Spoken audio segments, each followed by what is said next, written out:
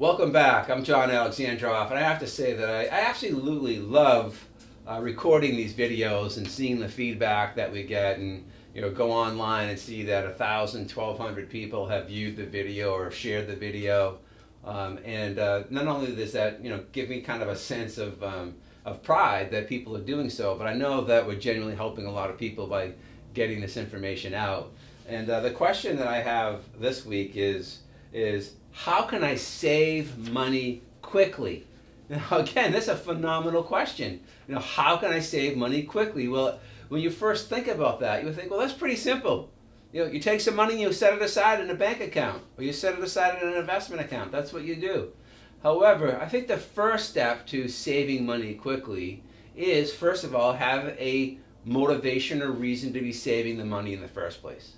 And then the second thing is, is to have a dedicated system to saving the money. So first would be that you have a budget for your expenses and make sure that you're meeting your expenses on a daily, weekly, monthly basis, whatever it is for you.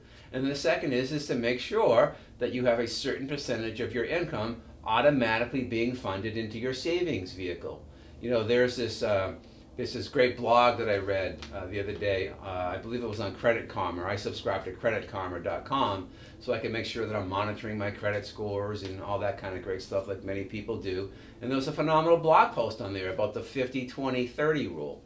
And the 50 20 30 rule says basically that about 50% of your income should be going for your regular everyday expenses. And that about 20%, not 10, but about 20% of your income should be going towards savings. Now think about that for a moment.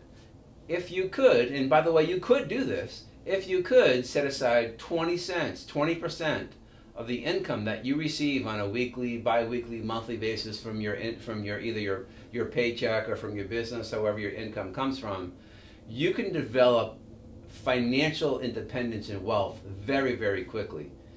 If you're earning uh, $100,000 a year, 20% of that is $20,000. $20,000 over, you know, over 20 years at compound interest of 3 or 4% probably adds up to about a million bucks.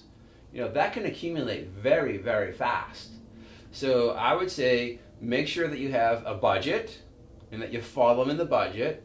Second of all, that you have a dedicated percentage of your income automatically going into some sort of savings vehicle. And then make sure as you're saving it, you do not withdraw it. That that's there for savings, right? It's not there for you to put there and then take out and then put it back and then take it out. You may do that through a checking account, but as a savings vehicle, if you really want to have dedicated money available set aside for you to either uh, have peace of mind that you have a long-term savings plan in place or that you're saving for a specific reason, for a trip, a home, a car, that the money's being accumulated and you'll have it and to be able to utilize it the way that you want. But that's the surest, quickest way, is to make sure that you're monitoring your expenses first.